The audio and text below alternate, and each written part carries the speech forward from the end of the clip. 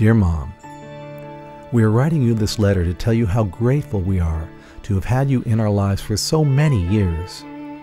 You were such a wonderful and caring mother, and we will always cherish the love and support you gave us throughout our lives. You taught us so much about how to live and enjoy life and putting others first. You always put the family first and cared more about everybody else than yourself.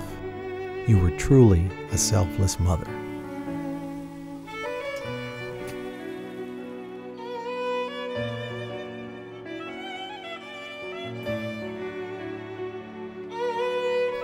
You were born on Valentine's Day, February 14th, 1926, in Dayton, Ohio. It's only fitting that such a loving mother would be born on that day. Your mother Marie and your father Charles were so proud, as well as your sister Sally. Your mother was a church organist in the Lutheran Church for many years, and it's easy to see where you got your talent as well as your faith.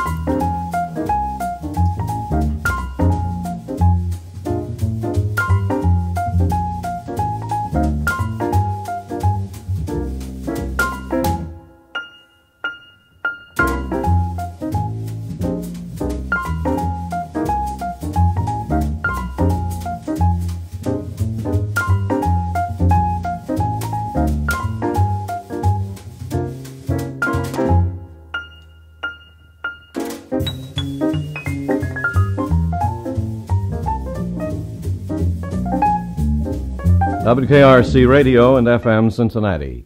Ten minutes past nine, and time for The Barbara Cameron Show, partially transcribed. Hello, this is your show. Breakfast is over, the dishes are done. Your husband is off, and the day has begun. The kids are at school, cause it's ten after nine. So let everything go and just find the time to relax with me.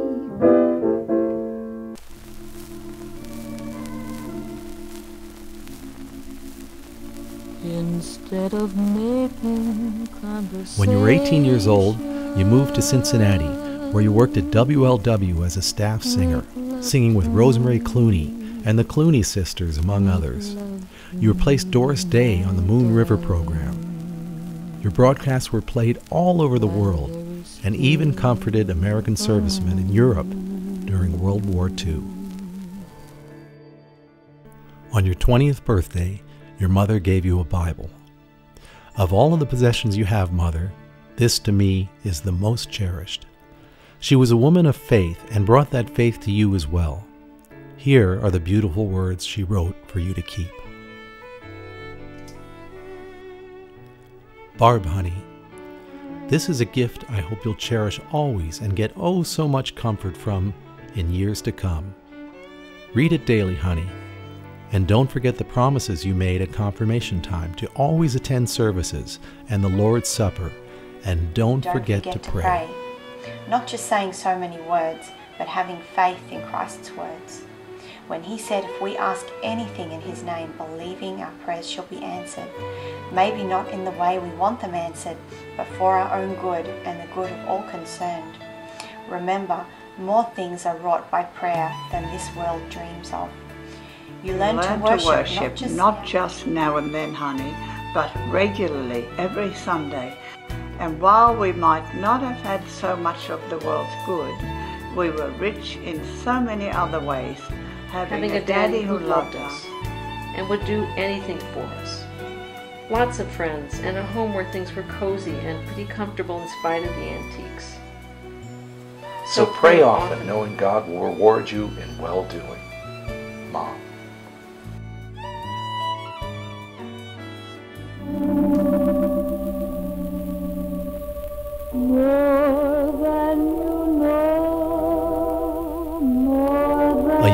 Officer named Joe Kotler heard your voice on the radio and fell in love with that sweet sound. He hired you to sing for an officer's ball. When it came time to pay the talent, Dad decided to drive to the station and give you the check personally. The rest is history. You were married on August 31st, 1949, in Cincinnati. You later moved to Rye, New York, Dad worked as vice president of Warner Brothers Television, and you freelanced, writing commercials and singing. You always had an amazing ability to write something almost at the drop of a hat. Your biggest claim to fame, the Roadrunner theme song you wrote in about an hour.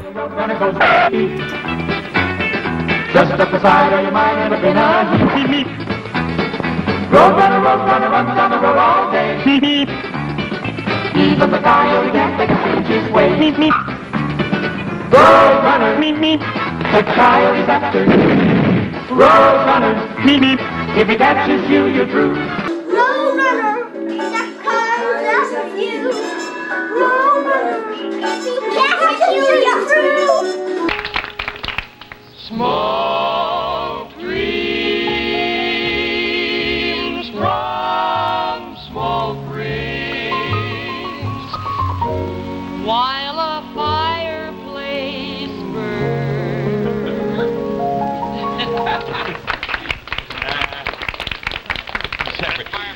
Get into your individual backgrounds, Barbara. You're the girl, so we should Oh, begin start with you. with It's me. a nice arrangement. Tell us about it. Well, I'm originally from Dayton, Ohio, and I think the first vocal group I sang with was my mother's church choir. And I started out uh, when I was about their age with a with a band in Dayton in high school, and I eventually went to Cincinnati to WLW on the staff there, and I sang solo work. Uh, as a matter of fact, I took Doris Day's place when she left, and one day they found out I could read music. And I was suddenly put into three trios, a quartet, and a quintet. And I did all sorts of shows, which was a great experience for me. And I branched out then eventually to do, I became an actress, and I did fashion work and commercials. And it's really almost better to ask me what I haven't done, but I love this the best. I know you have a little daughter who's even interested in. in Oh. I have two children. Yes. Little Cammy is nine, and they're both. They someone asked me to bring them today, but they're both such hams. Dougie, Dougie's age six, and he wants to be a conductor. He calls himself Dougie Bernstein. Tell about about your And, little uh, daughter in the school play. Is so Yesterday, little Cammy was supposed to be uh, to have the lead in the school play, and she had the flu. So she went to school, and uh, I had to go pick her up, and she was sobbing. I don't care, but it, I've been in a lot of plays, but it's the longest part I've ever had. And the principal was crying, and I was crying. Oh, was what a crying. sad story. Good night, baby. Good night,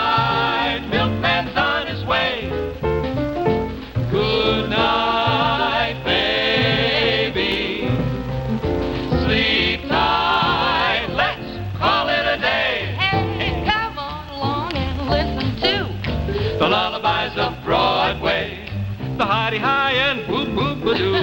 The lullabies of Broadway. the band begins.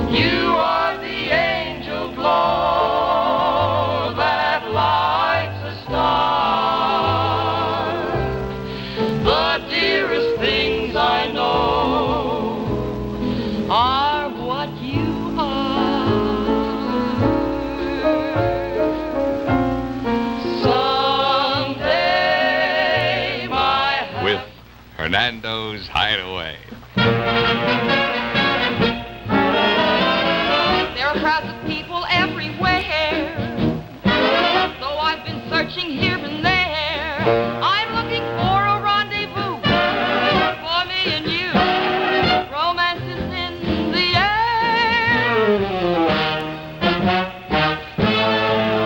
I know a dark, secluded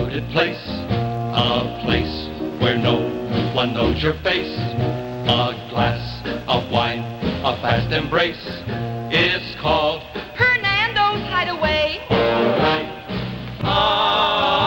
Ah, ah, At the Golden Finger Bowl or any place you go. ah, ah, You will meet your Uncle Max and everyone you know. ah, But if you go to the spot that I am thinking of, ah you will be free to gaze at me and talk of love. Just knock three times and whisper low that you and I were sent by Joe. Then strike a match the tires after you. Go run and catch a. That coyote is really a crazy clown. When will he learn that he never can mow him down? Poor little road runner never bothers anyone. Just running down the road is the idea of having fun. Road runner, that coyote's after you. Road runner, he catches you,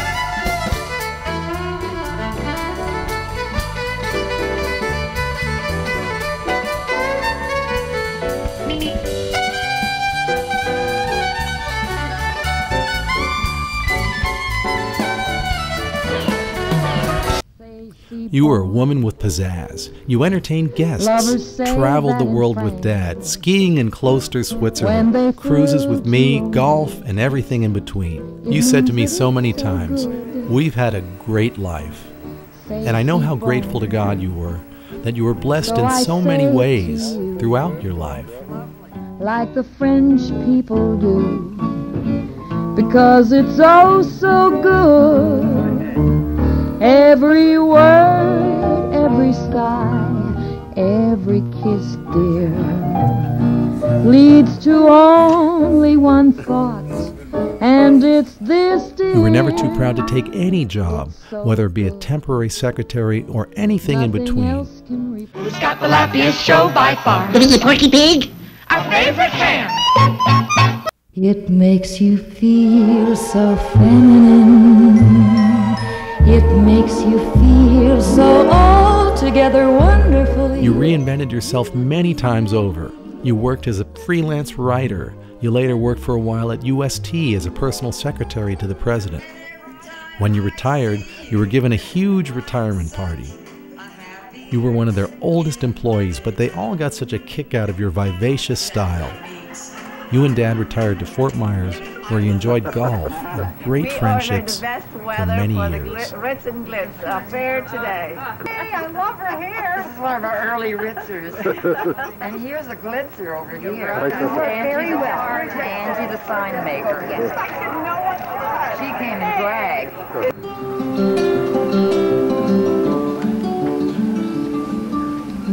You and Dad celebrated your 50th wedding anniversary with us in Fort Myers. We were so proud to be there with you as you renewed your wedding vows, and there wasn't a dry eye in the house. In the name of God, and with a thankful heart, I once again declare that I, Barbara, take you, Joe, to be my husband, to have and to hold from this day forward, for better, for worse, for rich or for poor, in sorrow and in joy, in sickness and in health, to love and to cherish, till death do us part. This is my solemn vow. Barbara and Joe, you have spoken again your covenant of love. God grant you grace to fulfill your life together, the solemn promises that you made in the youth of your love, and renewed again in the presence of the family and friends who are gathered here and who love you. God bless you both.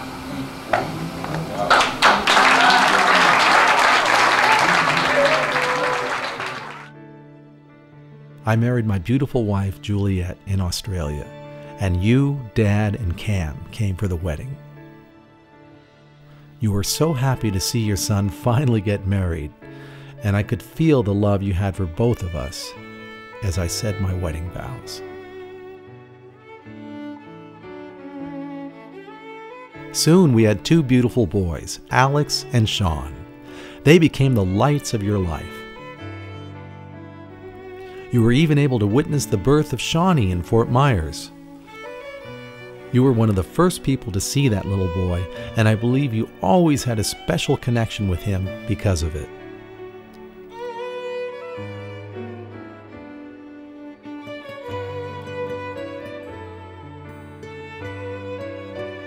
You have seen the boys grow up and also have seen how your talent is manifesting in them.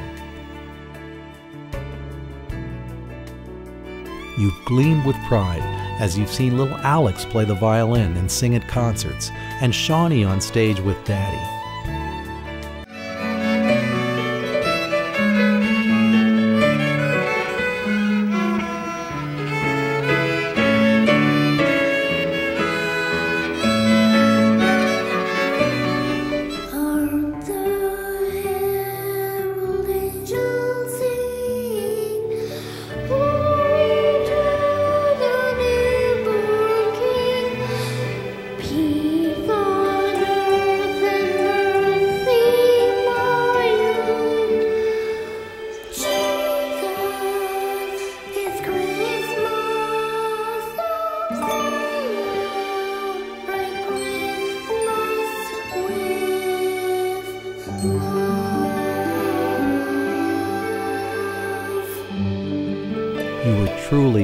Loving grandmother to those boys, and I know they will always carry your memory in their hearts.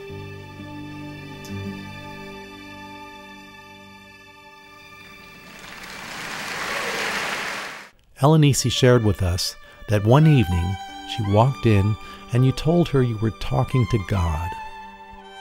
When she asked you what you were talking about, you said, everything. The Lord said, You know, we're closer to my house yours. Why don't you just come on home with me? Hmm. Cam and I were both there for you in your final days, and it was an honor for us to be with you as you passed into eternity. We both held your hand and told you how much we loved you. Your dignity and grace you had in your life, you showed in your final moments.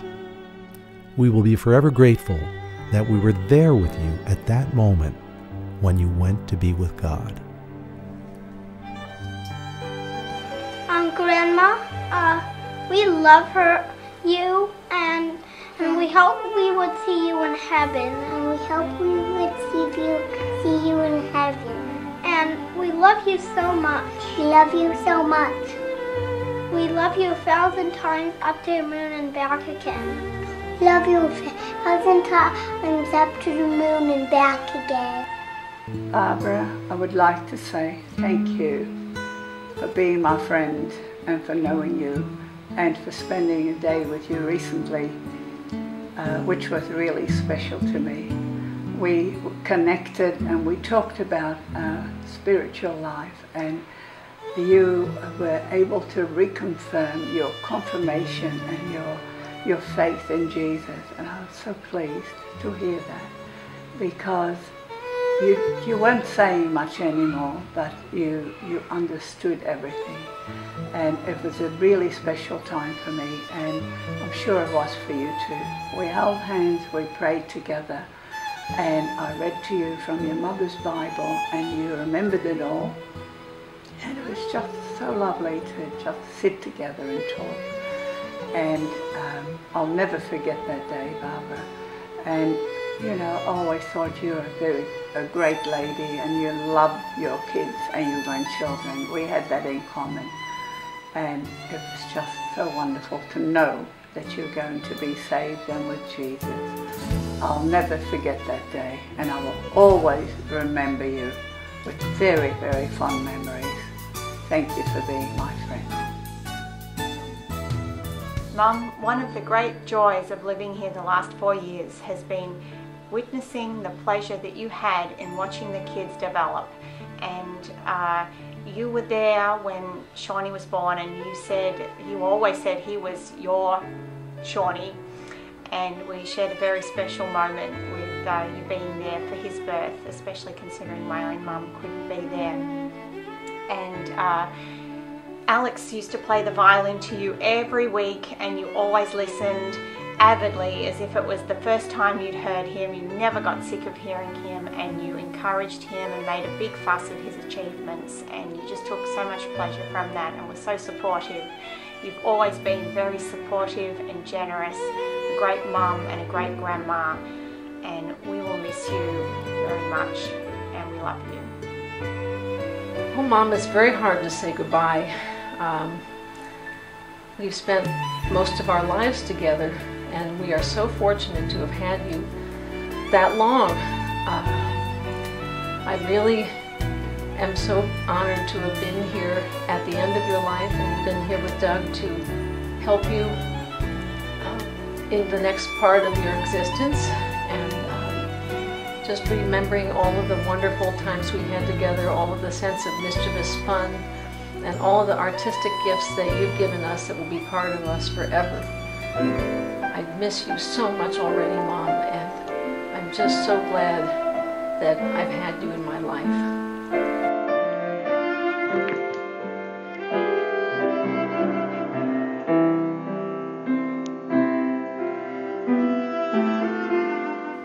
Bye, Mrs. Barber. I love you so much. I miss you. Bye bye. Dear Jesus, thank for the life of Grandma and and please bless her and and and give her a new life in heaven. And, and please take care of her and give her blessings. Thank you for Grandma and thank you for her life. Thank you for everything. Amen. Mom, I'm going to miss you so much. I love you so much. And we had such a special relationship together. We had so much fun together. And we really enjoyed each other's company. We never had a fight or an argument or harsh words for each other. As long as we were together, we were having a good time. It was always, what do you want to do? Oh, I don't care. What do you want to do? But as long as we were together, we were having a great time. We enjoyed each other's company so much. And that's the important thing. You know, you always said it's such a special relationship between a mother and a son. And I think in our case, that's especially true. I'm going to miss you so much, Mom. I love you forever. Bye.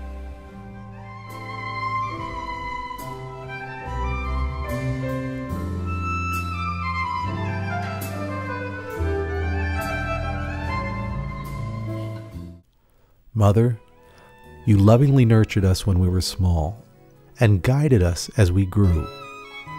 Your values, hopes, and dreams are now a part of us. You live on in our hearts, and I know your spirit will still guide us. The legacy of love that you showed in your life, all of us Cam, Alex, Shawnee, Juliet, and me will be a source of strength and comfort as we continue on with our lives. Your blood runs through our children, and your spirit lives on deeply inside us all. And although our hearts are heavy now, we know we will be seeing you in heaven. So, as you take your final bow, we would all like to say, Goodbye, Mother. Goodbye, Grandma. We will love you forever.